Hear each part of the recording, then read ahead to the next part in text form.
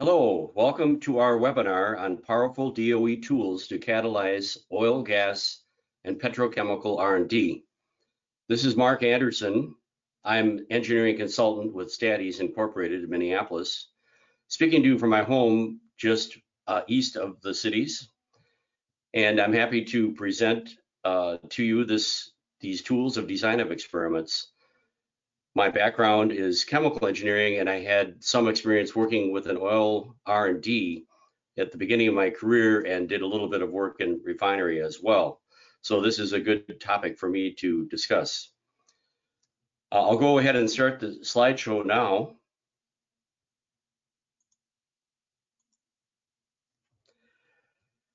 And uh, again, welcome. And to make the most from this webinar, uh, we will keep the attendees on mute Afterwards, I will spend some time and be available for chat. However, it may work out best that if you jot down your questions and then send them to me afterwards to mark at statease.com, then we can give a good answer and you know not use up time unnecessarily. This presentation will be posted to our webinar site and a recording to our YouTube channel. So at this point, I'd ask you to raise your hand on the control panel to indicate that you're able to hear me and you're with me so far. Okay, thanks, Wayne. And any others um, that want to throw their hand up? Great, add, etc.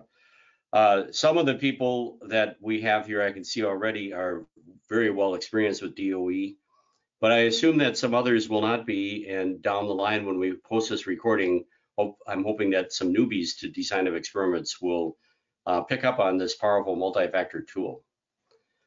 So therefore, uh, expect that this will start off with, you know, really basic uh, ideas about multi-factor testing, and then we'll advance from there to pretty powerful uh, optimization tools for process and mixture. Well, I really like to start at the very basic with a very high level view way above the forest at 20 or 30,000 feet to discuss, you know, what the basic idea is of design of experiments. And probably the biggest thing is that it's a purposeful approach. Uh, we're being proactive in changing factors that we can control, therefore uh, able to measure responses and establish a cause and effect relationship where we can predict the response Y as a function of X. Of course, we need to be sure that we're only reacting to things that are significant statistically. Let's say p less than 0.05 might be a good a, a good approach. Now, what's inside this box is going to be the big question that each and every one of you needs to consider. And uh, primarily, we focus on process type studies like time and temperature, but it also could be a product or a formulation, and we're changing the components of a mixture. Uh, so that would be fair game. Or even we can do combined experiments that combine process factors with mixture uh, components. So just about anything you, you want to do can, can be accomplished using these tools of design of experiments. And I like to say that uh, consider that you're in a kitchen and you're going to bake a cake. Well, uh, of course, the time and temperature in the oven is going to be really important, but also the components that you put into the cake, you know, the flour, butter, sugar, and eggs, or maybe a combination thereof. So it's up to you to decide, you know, what it is that you want to focus your attention to for your research and development. And then uh, number one is going to be identifying, you know, what are the critical to quality responses that you want to measure. Yield is, you know, a common one uh, for uh, oil, gas, and petrochemical. Uh, we also have issues of purity uh, with oil, gas, and petrochemical. So those would be a couple of things that you might consider uh, for responses, but really uh, there's no limit. You can measure, you know, whatever you think might be important and see what, what happens to that when you change these factors. Then on this side are the factors and, you know, as I said, you know, common things for, let's say, oil refining would be the temperature and the pressure and the flow rate and things like that. But you also might have uh, variations in your components of your petrochemical uh, coming in, the raw materials, and that would be something to consider as well. Uh, of course, there's always things that you don't control, and that's why we're going to use statistics to identify, you know, what's real and what was just caused by chance. So that uh, basically is in, in, a nutshell, you know, what what we're aiming for, and really uh, this, these tools of design of experiments using proactive changes to your factors to see what happens to the responses should work for any process or product. Um, it's just a challenge for you to you know, work out the mechanics of how you can control things and how you can measure things. So uh, with that uh, point made, uh, I'll just ask again to get some feedback. Uh, how about all of you? Do you have some kind of a process product, you know, in mind that potentially you could apply DOE to, or you have been doing so? I'm assuming yes, but just to get affirmation on that, uh, you know, put up your hand or some, give me some positivity uh, that that you've got something in mind to make use of the DOE.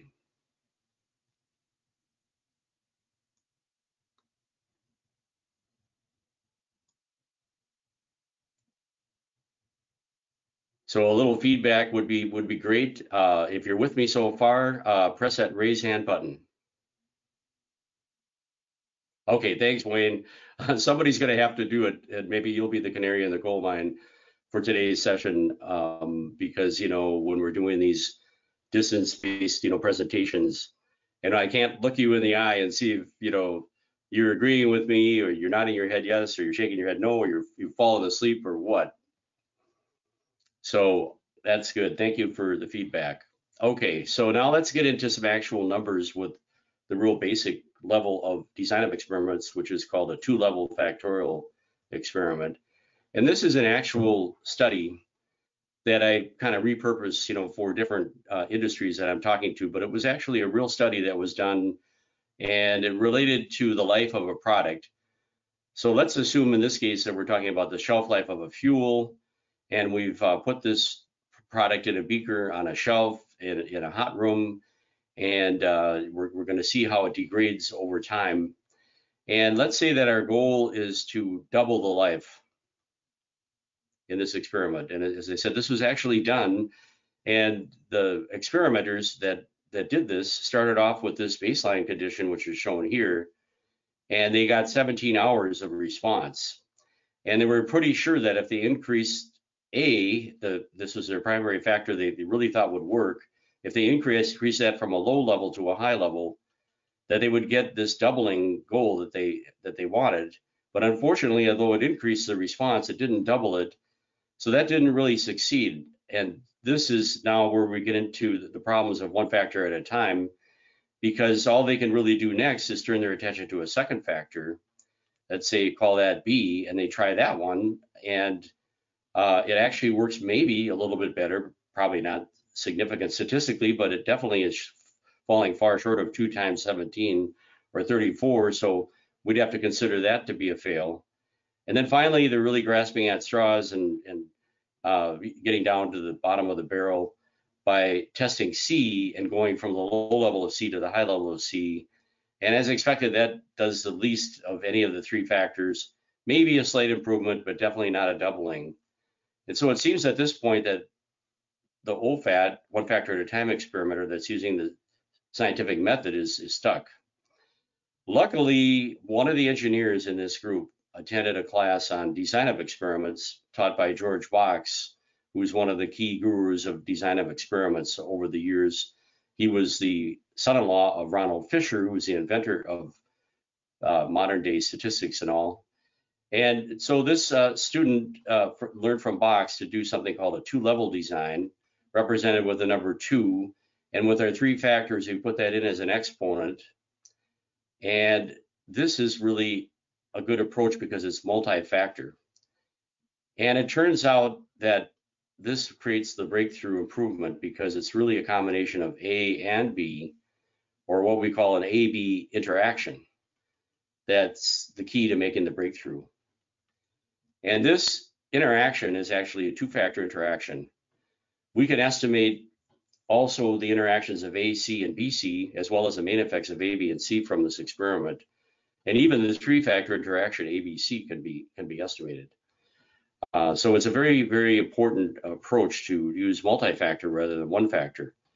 Uh, first and foremost, because we can uncover interactions only by doing this multi-factor approach, never by one factor at a time.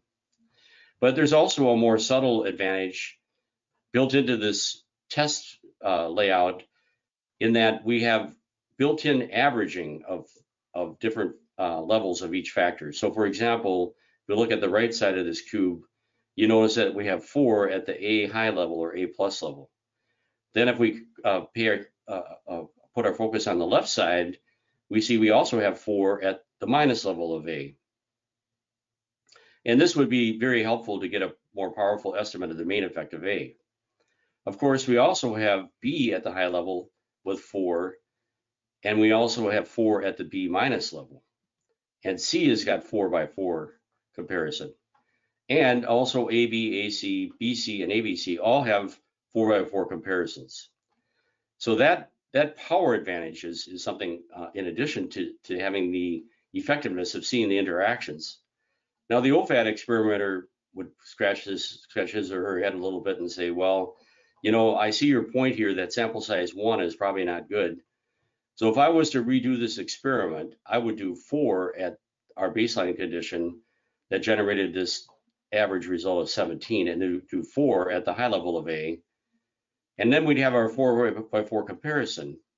Well, okay, fine, but then what about B? Oh yeah, I guess we'll have to do four at the high level of B also. But remember, we also have a third factor, C. Okay, we'll do four of those. Well, by the time we're done, with the OFAT, we've got 16 runs to get that 4x4 power, whereas with the two-level design, the multi-factor approach, we only have eight. So in addition to the effectiveness of the two-level design to see the interaction, it's also more efficient. And so this is, you know, accomplishing the great challenge that Peter Drucker laid out as we came into the turn of the uh, millennium in 2000 that making this knowledge work more productive you know will be our great task of this of this century and the entire millennium uh, starting in 2000 and so therefore i've made it my mission to promote the idea of this multi-factor testing and in particular the two-level design uh, just a quick survey of the group here. Uh, if you would raise your hand if you've done a two-level factorial design. I know some of the people have have because I recognize your names. Okay, yeah, and uh, so just as I expected, uh, Wayne, Mary, um, okay, John and Ad uh, also raised their hand, and maybe some of the others. This is might be something new, and certainly for our audience that'll come later for the recorded YouTube, I would expect a lot of people probably never have tried using this multi-factor approach, even just a two-level design. Okay, so uh, moving on from there, then, what I'd like to do is provide a good strategy of experimentation for this multi-factor approach.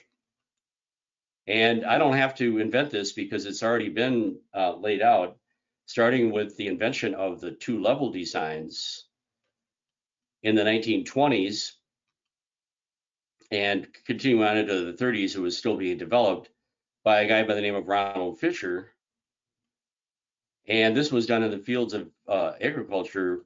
Uh, Fisher was an agronomist, and eventually he was knighted, you know, as Sir Ronald Fisher. And with these two-level designs, we can do screening with designs that are medium resolution. And just to give you an idea of, of how this is, is set up, uh, if we go to our tool, Design Expert, and let's say we were going to build a little design. Um, we have the two level designs laid out along this white diagonal, but uh, when you get more and more factors, the powers of two begin to bite, bite you a little bit with the number of runs. So you can start to do fractions. So here we go from eight factors and 256 runs to a half fraction of 128, a quarter fraction of 64. And if we keep pushing down even further, into this yellow zone, we get a pretty good design choice that I would recommend for screening. And so I'm going to say if you're using Stat-Ease software, look at these yellow designs as a possibility. And then we also have minimum run screening designs. So if you have nine or more factors, for example, we might start to use these specialized optimal designs that are similar to the yellow designs in terms of being good for testing the main effects of factors. So with these screenings, using the medium resolution yellow standard designs that Fisher invented, or the more modern DOE that is provided in Stat-Ease software with the minimum run screening, uh, you can uh, quickly screen down many unknown factors, let's say eight factors in 16 runs would be kind of a standard choice, you know, if we go with the original structures that Fisher developed. And what's cool about this is that we can quickly, you know, look at factors we never considered before. And before we focus on what we know are factors to study, we can screen those unknown factors down and maybe tease out a couple down here that are that are vital. And typically it breaks out, let's say 80% will fall off as trivial, maybe 20% would come in here. So maybe we would throw off six factors and keep two from the screening of eight. And let's say we had three to begin with. Then we go to the next phase, which is characterization. And these designs are going to be designs that are green. Let's just say that we could either do a full factorial at this point to begin to understand interactions of things, or do a high resolution, which is going to be one of these green designs. And so in this scenario, we've got three coming in from the beginning, and we've got two that we screened down. So now we have a total uh, at the next phase of five factors. And if we do another 16 run design, which is one of my favorites, it's actually a minimum run design for five factors. We would pick this option here, which is a screen design five and 16. Now we also have minimum run characterized designs if you have six or more factors. So we could also do the minimum run option for characterization. So you can see that the Stat-Ease software is really laid out nicely to apply this two-part strategy of screening and characterization. Now, if we add center points at this stage, and center points are very easy to add in um, anywhere along the way, but for example, with this standard design of five factors and 16 runs, here's where we would add the center points in, let's say four center points. We then can look at the average of the response at the center relative to the outside, and we can do a test that has a significance associated with it. And if it's significant and important, we can then go to the next phase. And at this point, we're going to do at least three levels of every factor and do what's called a response surface method or RSM. And this is where George Box came into play because he's an inventor of the original RSM design, which is called a central composite co-inventor of that and also many other tools for DOE. So there's a, a real nice lineage here between Fisher and his son-in-law, George Box. So let's take a look at uh, some of these different options in the context of oil, gas, and petrochemical. And by the way, I don't want to uh, ignore the fact that whatever we, we do, if we don't see curvature and we decide that we can just press ahead, or we do see curvature and we do the optimization experiments, of course, we're always going to want to do some kind of confirmatory studies, either running our optimum condition a number of times, and there's tools in the, the software to, to accomplish that. And hopefully it's all good and we can we can celebrate. So that's the strategy of experimentation. The main advantage is going to come at the beginning with the screening and characterization. Okay, so let's move ahead then and talk about this screening and characterization phase where we're quickly sifting down a large number of potential factors, discarding the trivial many, following up on the vital few, and, and ultimately increasing the resolution of the experiment to be able to resolve two-factor interactions, which are oftentimes the key. So here's an example from uh, oil, gas, petrochemical. This would be the type of thing I would do as a chemical engineer. And this happens to be a continuous stirred star, uh, tank reactor or C-star reactor. Uh, we're going to focus on five key factors, feed rate, catalyst level, agitation rate, temperature, and then this is a categoric factor because there's some thought that maybe we, we don't have to spend all the time to batten down the hatch on the, on the tank. Maybe we could at least leave it open and not have to uh, blanket it with nitrogen. and that would save a lot of time. So this one is a very questionable factor, but as long as we can do this many factors in a reasonable number of runs, why not throw in some things that are a little bit marginal? So the first consideration was to do a full two-level factorial. But it was going to be too many for one day. So the experimenters considered two options. One option is to split their design into two blocks. So how would we do that? Uh, and by the way, I, I, would recommend putting center points in um, for this design. So just for argument's sake, I'm going to leave the center points in. And let's say that we break it into two blocks. The trouble with the center points is going to add more runs. But let's just see how this builds up. So we would go to the next. We would identify some uh, information about what happens to break this up into two blocks. There's a slight loss of information. I, I'm just skipping by that. Typing in the name units, the type of factors, the lows and the highs, and notice the fourth, the fifth factor is a categoric factor, which is fine. It just has two levels. Now we're going to uh, do two blocks with center points. So the center points are going to be duplicated in each block. And this would be day one in this scenario, and this would be day two. Okay, and then we're just looking at one response, the yield, but there could be many responses, you know, the purity and things like that, but let's just focus on one.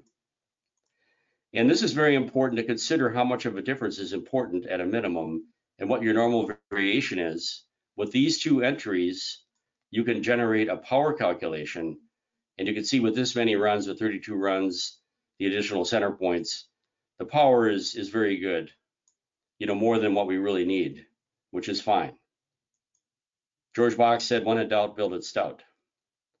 Now, what we've created here is a, a layout in randomized order. And in day one, we're doing half of the runs in an optimal half fraction. And in some of these runs are actually center points in the first group, and then we have center points in the second group.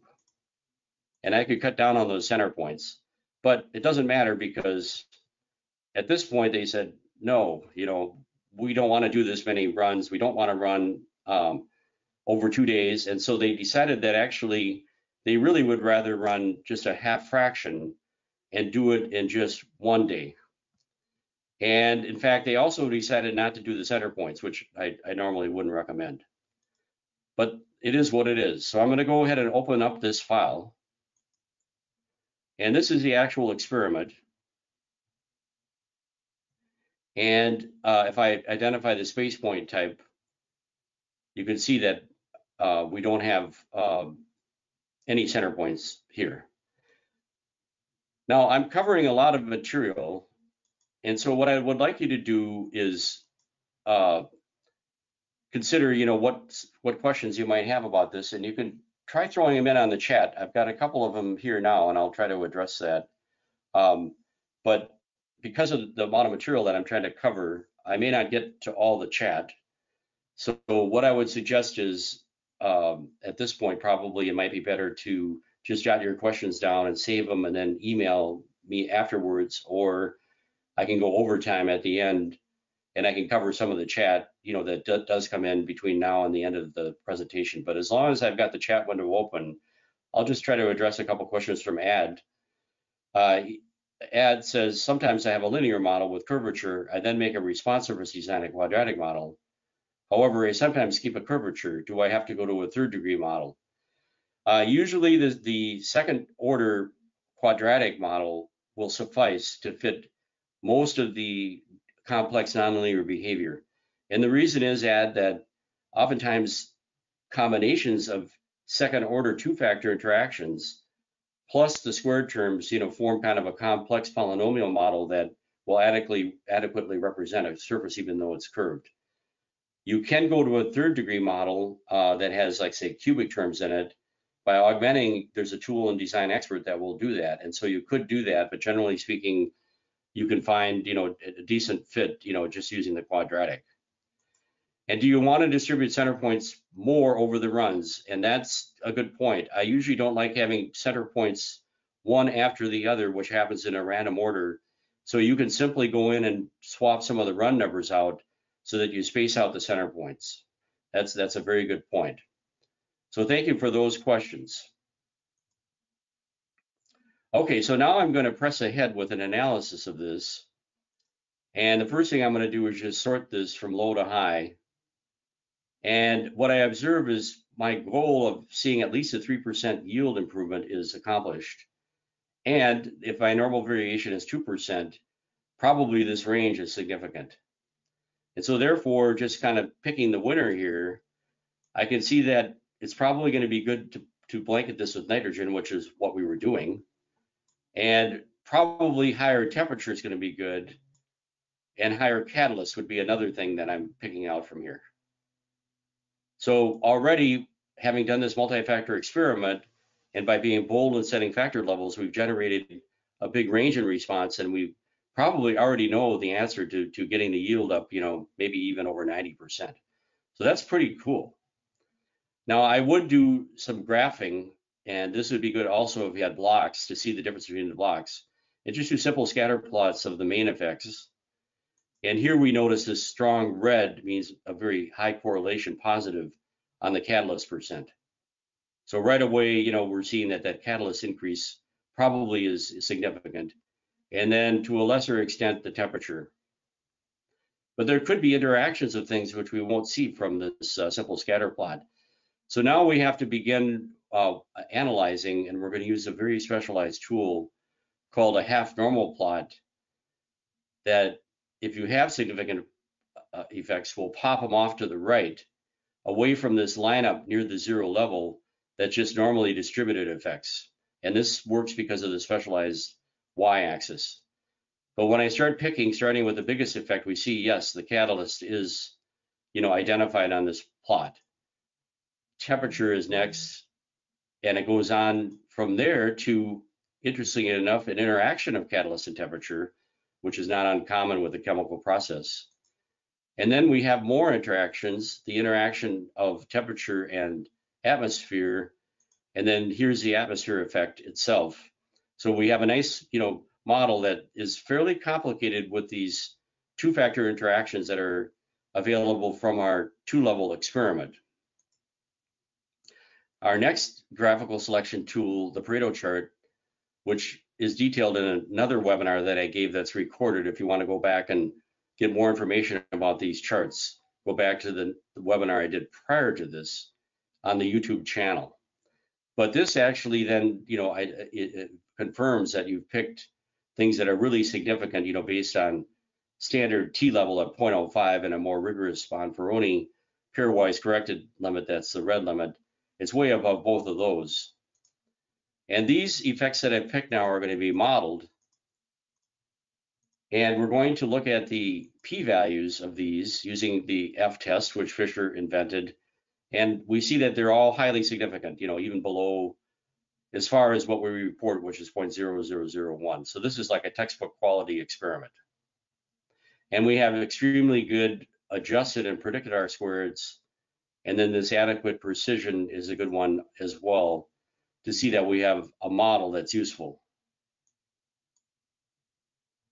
Then we don't want to uh, overlook that there could be some abnormalities, some outliers and things like that. And there's three plots that I happen to like in this uh, array that we provide with Stat-Ease software. First and foremost is the normal plot. And this is another type of plot, but only used for the residuals. And we actually want all the points to line up on a, let's say, covered up by a pencil. This is good. We want this. The residual versus run is another one I like as a certified quality engineer, having done a lot of work in plant process improvement. That one should just be a random scatter, no trends, no points outside of the red line. And then here's another invention by George Box, this one with a guy named Cox, that is helpful for seeing if there's any transformation that might be useful. And there isn't any. So at this point, I'm just going to press straight ahead here and we see that the effect of catalyst, which had a very strong main effect, is actually moderated by the effect of the temperature. At the low temperature, increasing the catalyst doesn't really increase the response that much. It's significant, but not that, that much, looking at these LSD bars, least significant different bars at either side. They're not overlapping. So there is a significant improvement at low temperature, but the big improvement comes when you increase the temperature and then increase the catalyst. And that's where we're getting these really high levels. Then also there's an effect of uh, atmosphere uh, going to the air. It does degrade the yield, unfortunately, but it's more complicated than that because it depends on the the uh, the effect of the let's go the effect of uh, atmosphere, which is now showing as green for the for the air and red for the nitrogen, becomes much greater at the higher temperature, which is what we want. And so uh, at this point, it's pretty clear that we need to increase the catalyst. We need to increase the temperature and we need to keep it under the blanket of nitrogen. So we're on the left side of the, uh, the bottom side of the cube here. Actually, it says 90.29, which is nitrogen, high temperature and high catalyst on this cube plot. And I could fiddle with the axes on this to make it, you know, correlate better. Um,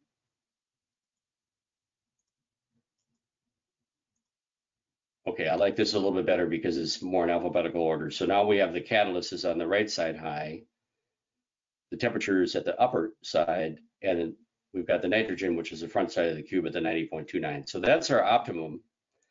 We can also do some pretty cool uh, surfaces like this one here. And we could set a flag and you can see that we're getting, you know, pretty close to uh, over 90% the actual model, if we were to search out, you know, what that maximum yield is, let's see what we get, putting a stretch target of 100 at the top. And it does look like we've got a prediction of over 90. I would then take this setup that we have and do a series of confirmation runs.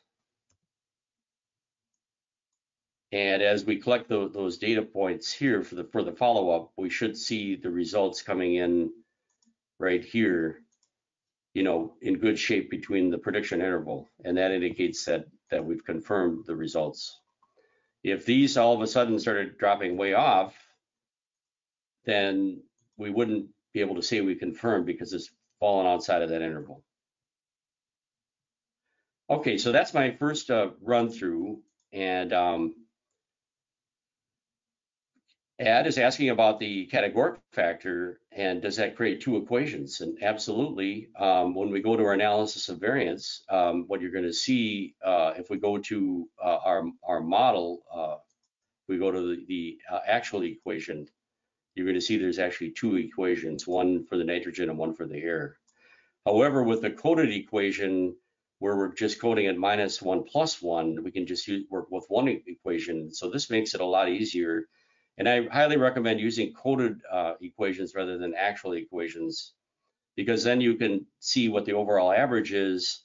You can see the relative impact of the coefficients and whether they're plus or minus, and whether an interaction is synergistic, which is a plus interaction, or antagonistic, which is a negative. So the coded equation is going to be a lot better.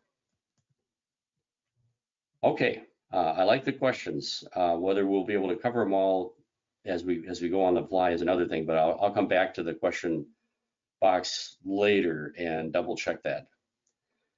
Okay, then last but not least on the two level designs, again, to, to reiterate that we have these specialized minimum run designs. And as you get to six or more factors, your standard uh, high resolution designs can be bettered by the minimum run. There's a price to pay with lower power you get partial aliasing of effects and things like that. So if you can do the standard type of design, that's always better. It'll be more powerful and have more regular aliasing. But certainly as you get into more and more um, factors, we had one client that had 11 factors and they still wanted to get the high resolution. So they did the 11 factor minimum run resolution five. Now, uh, another option, of course, is to go to a lower resolution and just do a screening of the main effects and we also have minimum run designs for those. And of course, you'll get by with many fewer runs, but keeping in mind that it'll only give you the main effects. The interactions will be alias still. So now moving ahead to response surface methods, you know, after we've done the screening and characterization, and we see from the center points that there's curvature that's significant and important, then we go to these specialized designs that George Box invented, the central composite, or you can do for two factors a full three level design, and that would work perfectly, perfectly well. And there's other designs. There's another one called a box Box Boxes everywhere. or you can do what are called custom optimal designs, uh, which can deal with any space, any polynomial model, and we have complete capability to handle just about any situation you have, whether it's process or product, combined, whatever complex constraints you put in, you can handle that with a computer custom optimal design. But the point of doing response surface methods is once you've gotten close to your peak, to apply a focus on that and then do a design that will uh, adequately approximate that curve using a polynomial model. And this is something that uh, I did when I was working in uh, R&D for specialty chemical. And I had a PhD that I was working with that was very good at doing one factor at a time. And so Bill would methodically run a series of tests on one factor and he'd say, oh, look, we see the peak here. And he would be very excited about that. And then he would set A and then focus his attention on B, and he would do another methodical experiment and say, wow, here's a here's a peak for B, and I have it nailed. Well, this was an actual experiment on the yield of a uh, of a chemical. And so I said, Bill, I'm going to take this and scale it up for these two process factors. And I did a three level design with two factors, which forms nine combinations or runs. And then I replicated the center point a number of times. And from this, I was able to fit a polynomial model, which is what RSM does. That was a function not only of the main effects, but also the interaction of the two, which we can get from the two level design, but also with the three levels, I can get the squared terms. And this forms what's called a quadratic equation. And that's kind of your, your standard equation. And from that, you can map out using Design Expert. And we were able to get the yield from, let's say, 75% up to 95%. And that was worth $2 million a year in added you know, yield for, the, for this very uh, expensive chemical that we were producing. So the multi-factor approach is always going to be a key to really, you know, wringing out the most yield and quality that you can get from your process. So if you start with good subject matter knowledge and then use two-level factorial screening and characterization, you can get down to some few factors and then you can do a more in-depth study on the process, measure the responses and fit this polynomial model. And this is what George Box, you know, invented for Imperial Chemical recognizing that all models are wrong, but some are useful. And with the modern day computing facilities, we can, we can generate these surfaces. So what I have here as an example is actually one that uh, is detailed in our tutorial in our software. So what I'm going to suggest is rather than me spending a lot of time on this, if you have Design Expert or you can download a free trial and you can you can check this out is go to our help tutorials with your free download or with your licensed software if you haven't done this before look at the response surface example that I've got here and you'll see that it's the exact same example that I'm showing on this slide with time temperature and catalyst as as our um, factors and then the actual structure of this experiment is what George Box invented. is called a central composite. It's comprised of the core factorial, which is a cube, the center points, which are at the center, and these will be uh, replicated a number of times. And then these axial points that are coming out represented by stars provide an additional level, and you actually have five levels, the minus star level, let's say, the minus one level, the center, which is zero coded, the plus one in the factorial space, and then the plus star or alpha they call it for the coding. This alpha is something that has to be determined. And I'll go ahead and open up this tutorial data, but I'll, I'll leave it to you to actually work through some of the details. It's completely laid out um, there in that tutorial. So here it just, again, it reiterates, we're looking at time temperature catalyst. And then the way this is built is very simple. You go to the response surface section, central composite, there's lots of options in terms of blocking, how far out the points go. Study that. This happened to be broken up into two blocks by day or by equipment. We had two responses. And then uh, as you analyze this, this data, what you're going to find is that the first response conversion re does require these squared terms, and there's some that are highly significant. The second response is fitted adequately with just a linear model. And ultimately, what you can do is you can trade off maximizing the conversion, let's say at a minimum of 80, with a stretch target of 100, with activity, which is a quality attribute that they wanted to target. And let's just say that you say, well, let's just say we want to hit 60 and we want to go from 57 to 63. I don't think these are the actual, this is the actual target, but now that we have the models, we can put in whatever we want for our goals. And the end result is that you're able to, with the right settings of time, temperature, catalyst, you know, get conversion above your minimum that you're looking for at the same time hitting activity, you know, on target. And uh, so look, going back to the original conversion in 3D surface, we see there's a certain, you know, setup of temperature, time, and catalyst. But what we really have to do is also make sure we get it on target for the activity at 60. So this combination gives you both of uh, what you want. And so we create what's called a sweet spot that gives us, you know, the conversion to where we want and, and gives us the activity to where we want. And this one, we actually have a couple of sweet spots. If I lower the catalyst on this example, we lose the ability, you know, we still have some, some open window, but it's not as good. So this gives you an illustration of the advantages of applying a more advanced technique, you know, which is response surface methods.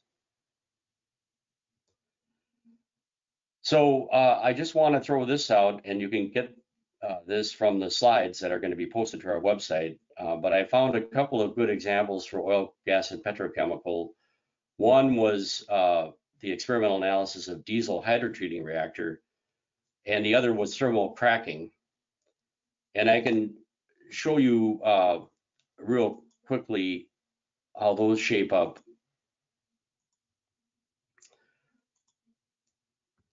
So the first one is the diesel.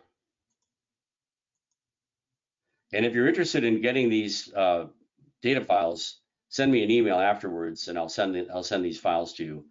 And I was able to copy out of the original publications and using our powerful import function, uh, get them set up within the program without a lot of effort, but it'll save you time if, if you want to look at these to ask me for the actual design expert files.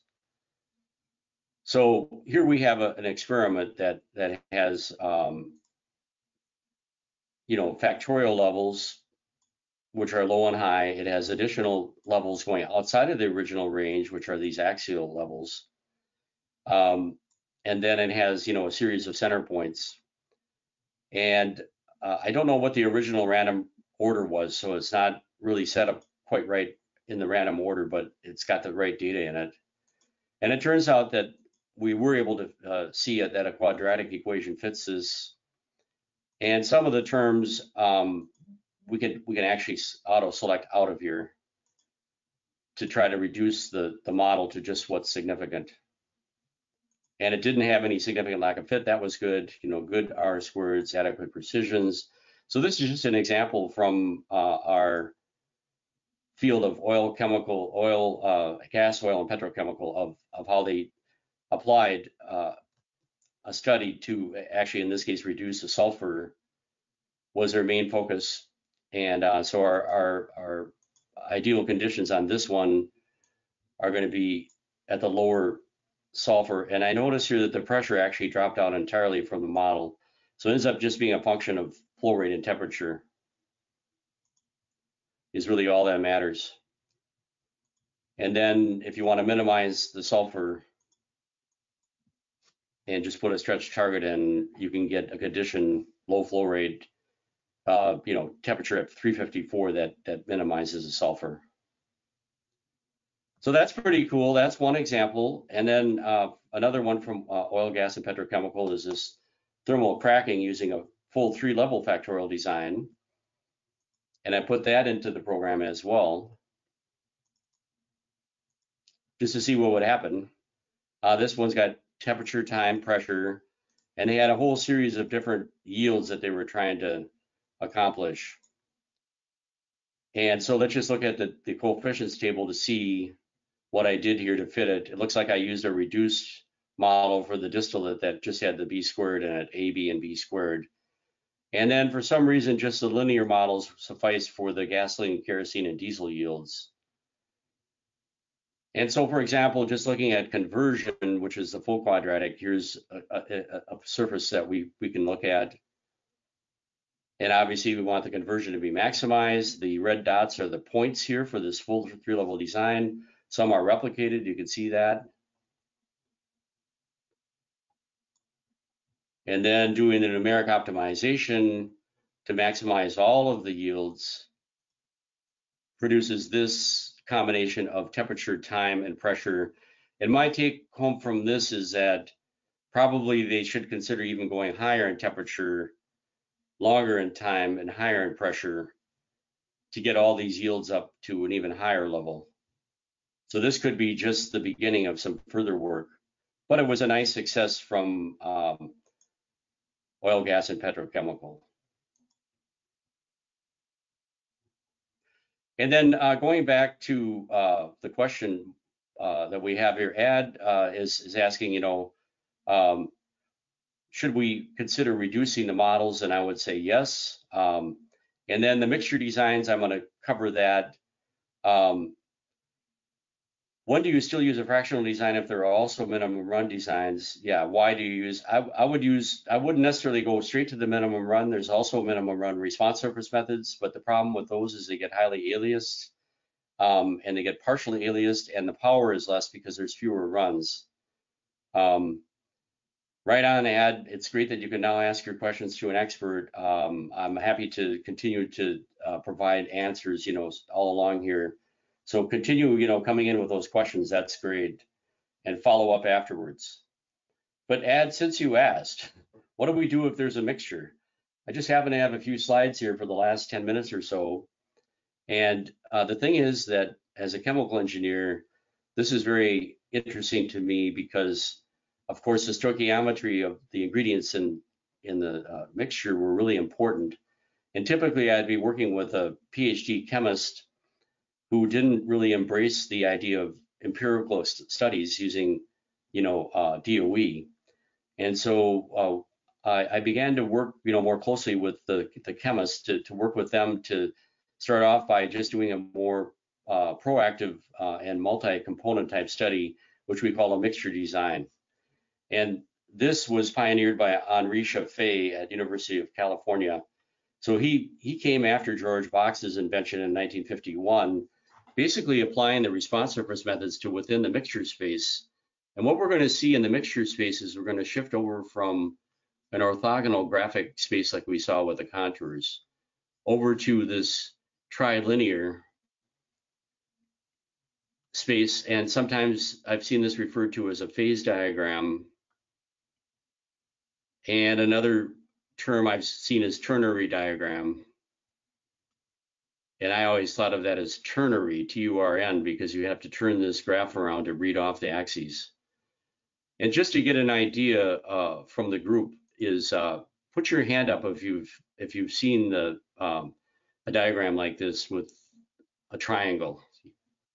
John, Ad. Okay, so you have seen that. Marion, of course, Mary Marion. And I'm sure Wayne has, has come across this and maybe some others. But it's really the key to applying good uh, experimentation when you're working with a formulation. to now kind of shift your attention for what we would call factors to ingredients, and we kind of shift the language a little bit here for our input variables from the word factors to the word components, you know, is kind of the scientific name. But most people might just call them ingredients. And then uh, what makes this uh, process of this mixture design work is that it's really a function of proportions of stoichiometry that's the key, not the amounts. And this certainly works for, you know, beverages like this milkshake. You know, the relative proportion of, of the milk fat, the sugar, the chocolate, you know, is what's going to make this delightful for the taste. Then if we fix the total, which typically is 100 weight percent, but it could be volume percent or mole percent, or it could be one glass or one barrel for a barrel of oil. Then we can facilitate the mixture model. What often happens at this stage is people have learned about using a multi-factor approach. And so they think, well, we should be able to apply this for a mixture just as well. So here's a student that's attended the class for design of experiments that Stat-Ease taught. And he's thinking he's pretty smart now. And so when he sets up his lemonade stand on this hot August day, he says, well, look, I'm going to do an experiment first with either one lemon, which is going to be my low level that I learned from Mark, to code as minus one, and I'm going to also do a high level. Uh, we'll code that plus, and this would be either one lemon or two lemons, and we could call this factor A. And over here, I'm going to do a second factor, and I'm going to do a multi-factor experiment with both A and B, going from low to high. Well, uh, I won't belabor this, but I'll just point out, and you can see this pretty readily, that if we're just taking a sip of this, it doesn't matter whether we have one lemon and one glass of sugar water, or two lemons and two glasses of sugar water, the taste will be the same. We've just scaled up the recipe. So this would be a really bad idea. A much better idea would be to, to condense these two things into one variable, which could be the ratio of the two. But I put a number line in here where zero is the lowest level and one is the highest level. So the coding for the mixture will be zero to one and over on the right side is pure sugar water. And if we do an experiment here and we have a little taste panel, they're going to like this sugar water, I guarantee you. And if we had a one to nine scale, they might rate that a seven. Over here on the left side uh, is another option, which would be to just squeeze a pure lemon out. But I guarantee you that would be pretty sour. And on a nine point scale, maybe we might be generous to give it a three. But if we continue to do this experiment with different blends, and we could also replicate a couple of these, and we could set this up in Design Expert. I don't have time to show you, but it'd be readily done with a two-component mixture design in Design Expert. Um, we could then generate an equation, and this is the equation that was developed by Scheffé. I just call it a mixture model. It predicts the response Y as a function of what you get with the pure X1, which is the sugar water.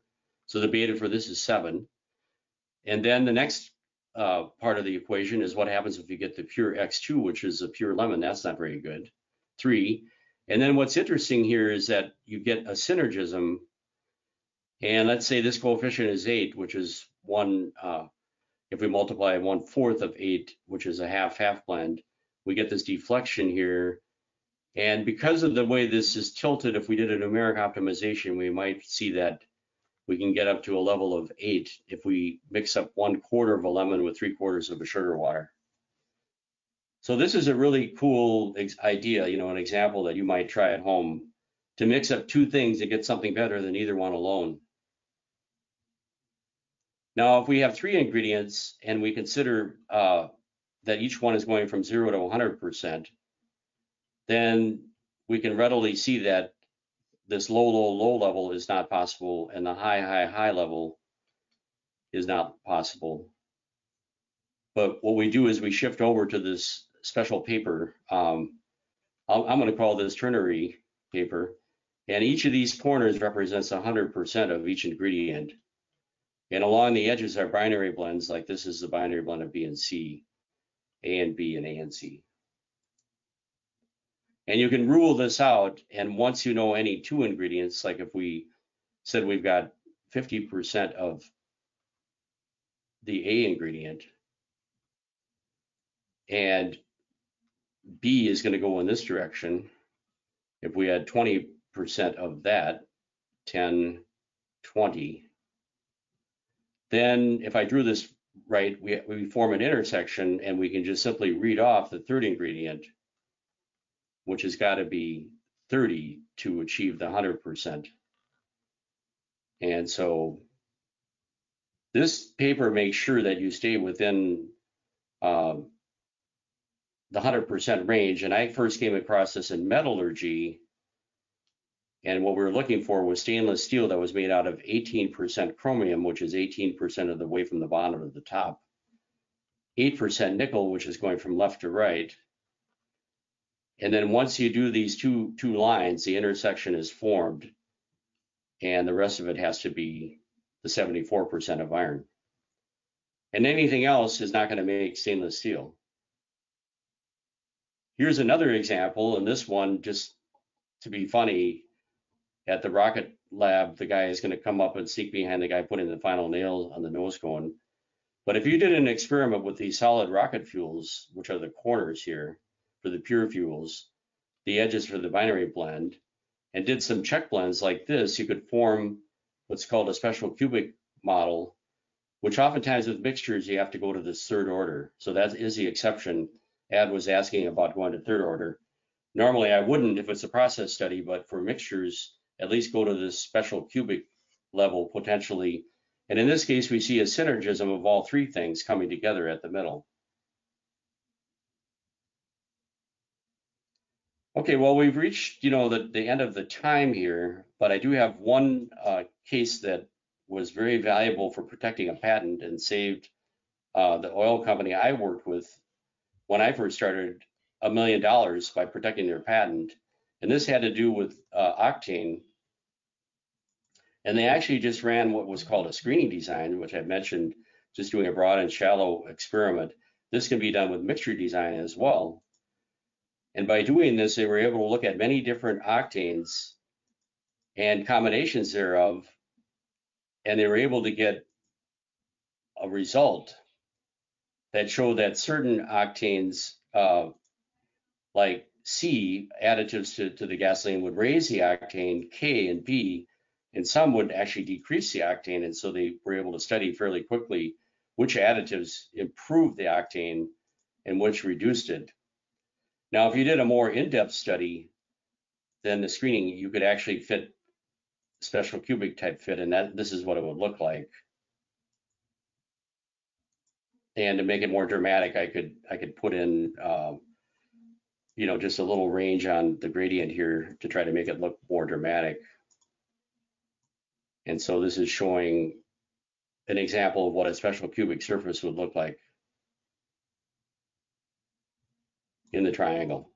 So that's about all I'm going to be able to do here. Um, being already one minute over, uh, although we started a couple minutes late just to leave time for people to to uh, join in with our GoToWebinar. But really, the main thing is to um, trim out any kind of one factor at a time experimentation, right? And go with the multi-factor approach. You know, once you get anywhere near to where you want to be for your process, then use these two-level designs. Use response surface methods like I demonstrated from the published cases have been very successful for oil, gas, and petrochemical. For process optimization, such as in a refinery. But then don't uh, ignore the fact that you can fiddle with the formulations using mixture design and or even combinations of, of those two using optimal custom. And this will be very easy with either Design Expert or Stat-Ease 360, which is a newer uh, version of Design Expert that's supercharged with the addition of Python um, scripting and things like that. So for the more advanced power users, consider moving up to this Stat-Ease 360 that looks like this, and it's got the Python scripting and some other tools such as Gaussian process modeling and things like that. But normally Design Expert will be plenty fine for your typical industrial R&D person.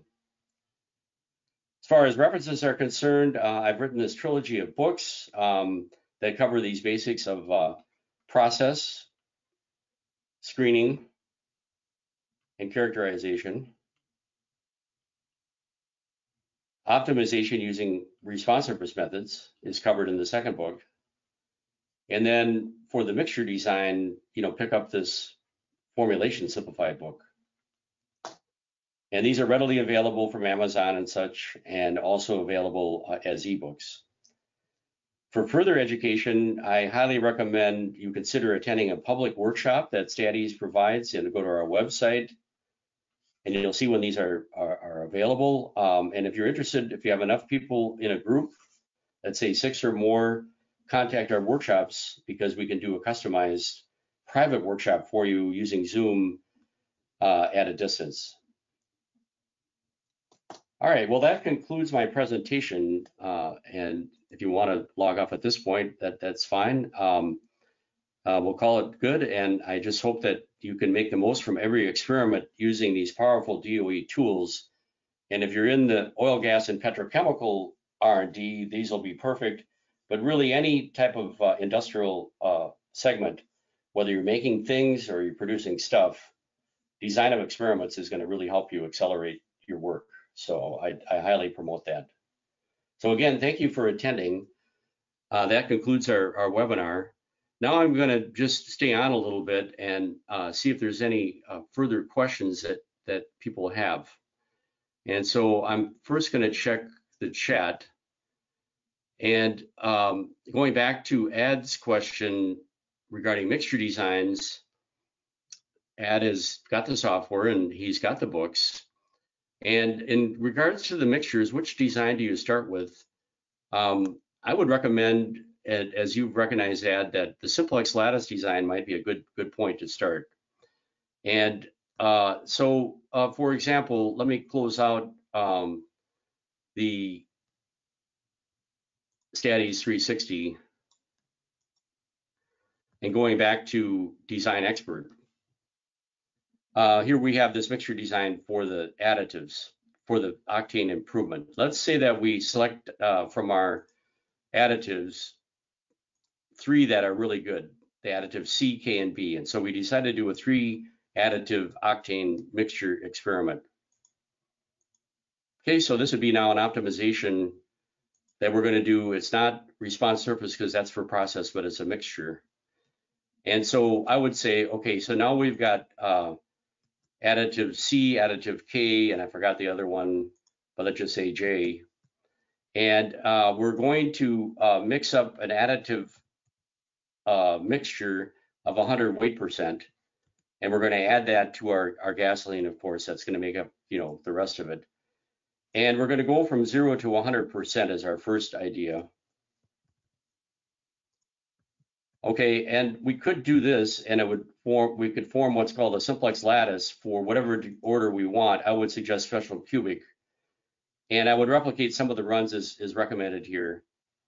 And this would make a nice little blending experiment. I usually recommend 12 or more, you know, to check on the octane and see if we can find a, a blend that is better than any individual alone and so this makes an experiment that has, you know, 100% of each of the individual octane additives, but also does uh, overall blend of all three.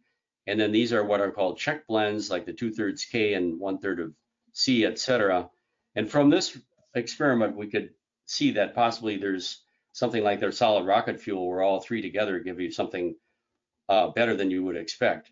But let's say that one of these uh, uh additives is quite expensive and we we just can't we simply can't afford to put in too much of it. And so let's say we're going to cut this off at 50%, but the other additives are cheap, so that's fine.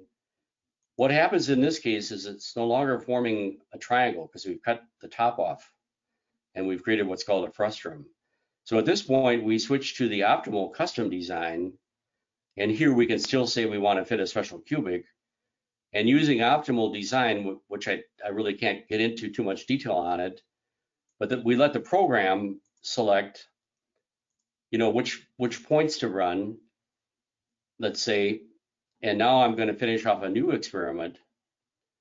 And this one never goes above uh, 50%. I guess this is the one that I, I cut off. you know, for the first ingredient. And so we're creating a design that uh, is an optimal custom within the triangle, but the top of the triangle is is cut off.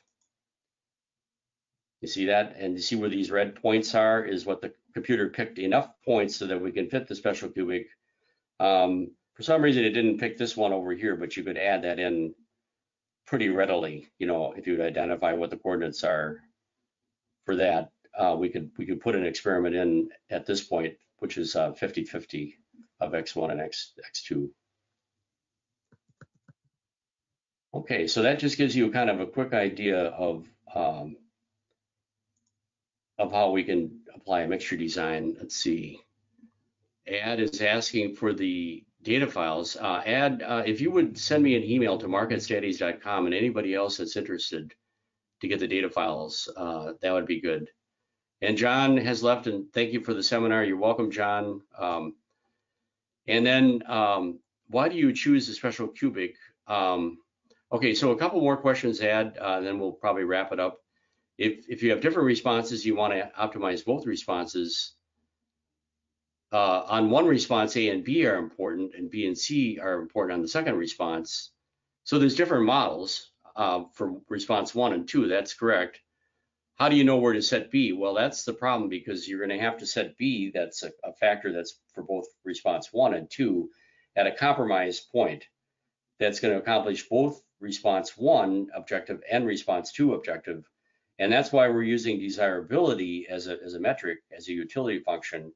So by, by scaling for each response from zero to one, we can apply this desirability trade-off. And that way we can find these compromises that you have to have, you know, for example, on, on factor B in your example. So, you know, take a look at the numeric optimization. There is a tutorial that covers that, you know, in the more advanced end of the response surface and mixture design tutorials, and you'll see what I'm talking about there. And then the special cubic, um, that is a matter of judgment call, you know, how you design your experiment. Whether you want to design it to fit a linear, which would be a screening design that I showed you for the for the octane, where you have many, many uh, inputs and you want to just do a broad and shallow design that will identify just the, the big effects, the, the main component effects or main factor effects. That would be one reason to go with a linear type thing. But as you begin to optimize on fewer factors or components, you can afford to increase the order and you're now getting into the nonlinear uh, part of your, your surface. And so what model you design for depends on where you're at in your experimental program. In the early stages, you're going to go with lesser models that are linear or two-factor interaction. And as you get to the later stages, when you've narrowed down the field to a few factors or components, then you're going to do more of a higher order model, a quadratic or even a special cubic. So you do have more runs, and that's why we need to cut down the number of factors or components first before we get into that in-depth study. That's why we have that strategy of experimentation, of screening, characterization, and optimization.